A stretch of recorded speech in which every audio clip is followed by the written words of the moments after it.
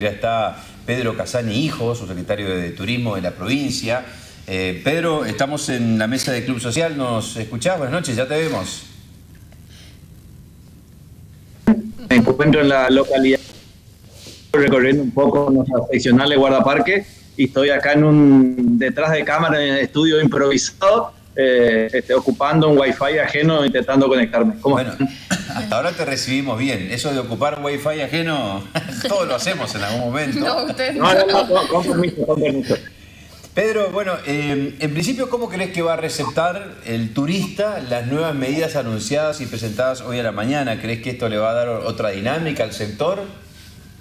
Así, esto le va a dar otra dinámica al sector, uno de los sectores más golpeados de la economía, y esto que hoy se anunció en mi apreciación en forma muy inteligente por una decisión tomada por el gobernador de anunciar el, turismo a todas las provincias, eh, tiene, este,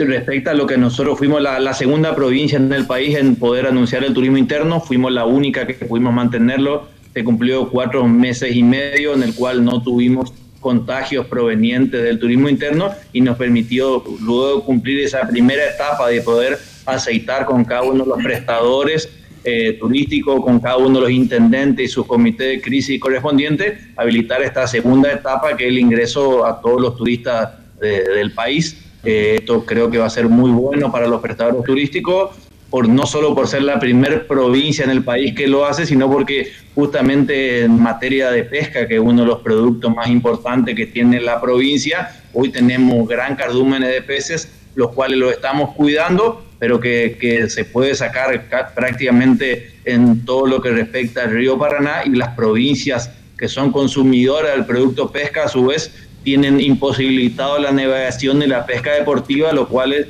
sin duda nos convierte en una provincia altamente competitiva. Hoy estuvimos en contacto del ministerio, yo personalmente por teléfono, con, y sé que el ministro lo vayan también, con todos los prestadores turísticos que lo pudimos hacer a través de la tarde, luego del anuncio de las 10 de la mañana, y todos nos, nos contaban que ya tienen prácticamente colmada su capacidad y, muchas consultas de, los turnos correspondientes para poder venir a, vacacionar a la provincia. ¿Es condición eh, sine qua non comprar algún, o sea, cuando tramitan el permiso, poner que compraron algún paquete turístico o con el solo hecho de decir que vienen a hacer turismo, que se quedan cuatro o cinco días, eh, es suficiente? No, no, una condición sine qua non, hay dos requisitos innegociables, uno de ellos es el hisopado, o sea, la persona, el turista que viene a la provincia tiene que traer o un hisopado eh, con resultado negativo de su lugar de origen, válido por 48 horas, o sacar, hacer el hisopado en cualquiera de los retenes que tiene la provincia y tener un servicio turístico contratado con anterioridad. En el caso que se trate de pesca deportiva, más acompañado de la licencia de pesca de, de turista, obviamente, que cuales una vez ingresado a la provincia eh, pueden permanecer siete días mm. eh, dentro, de la, dentro de la provincia para poder ejercer el turismo. Pero la condición sine qua non es la contratación, digamos, esta apuesta fuerte que está haciendo el gobierno de Corrientes es para justamente dar un impulso al, sector turístico, que uno de más golpeado, que el turismo interno nos permitió sostenerlo y, eh, dicho vulgarmente, aceitar todo lo necesario y esta segunda etapa a generar el ingreso de recursos genuino y hoy tan, tan necesario. ¿Qué expectativa tienen de cuántas personas pueden llegar a venir en esta primera oleada de estos días hasta fin de año?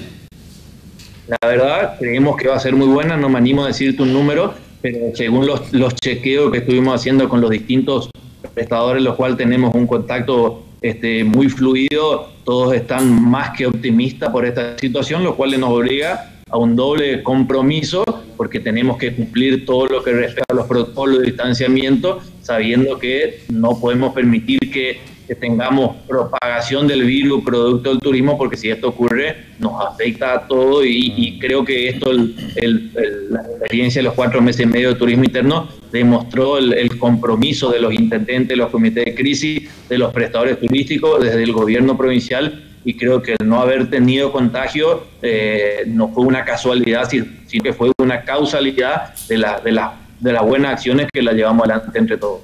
Sí, eh, si bien desde mañana está habilitado ya el tema para sacar el formulario, para completar el, formulario, ¿a partir de cuándo los turistas pueden ingresar a la provincia?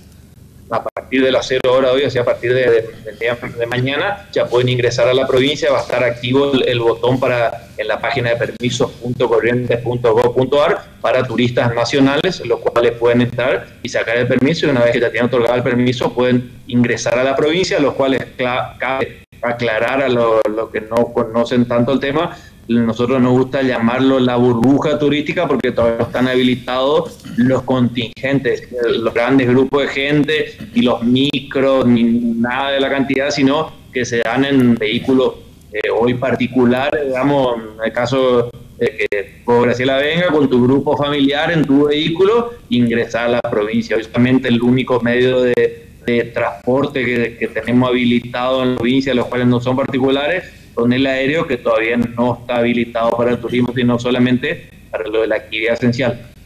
Vos sabés que eh, hoy hablábamos con César Lescano, él es el representante de la CNRT local,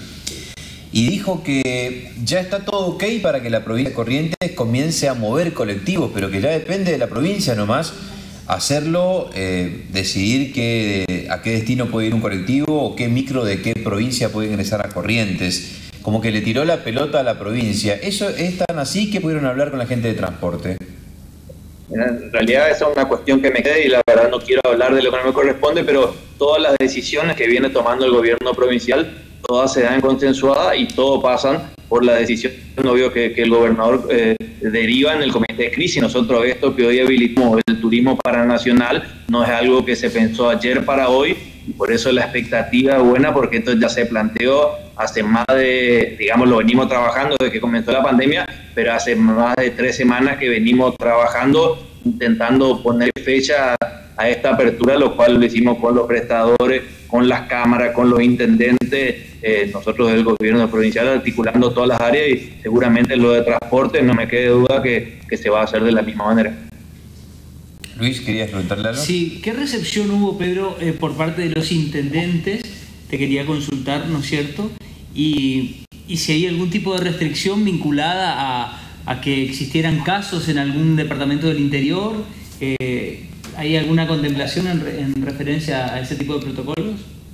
Mira, Luis, a mí me tocó justamente hoy, como a mí dentro de los temas de turismo me apasionan todos, pero principalmente la pesca de mi debilidad. Hoy hablé prácticamente con todos los intendentes desde Ituzaingó a esquina, en el cual nosotros le pedíamos este, una, carta compromiso habilitando el turismo nacional y en el cual recibí prácticamente la totalidad de todos los intendentes la nota requiriéndole al gobierno provincial la apertura para el turismo nacional. En el caso de dos intendentes que no recibí fue solo por cuestión de tiempo, pero la estaremos recibiendo, en el cual nosotros a la, recepción de, la carta compromiso le estábamos enviando este, los protocolos correspondientes y todos están abiertos a recibir el turismo y, entienden que esta cuestión de, del encierro, eh, contextualizando una cuestión que se hizo para ganar tiempo eh, y este, preparar el sistema de salud,